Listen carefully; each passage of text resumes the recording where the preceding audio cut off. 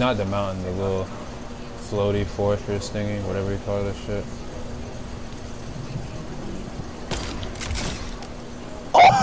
Oh!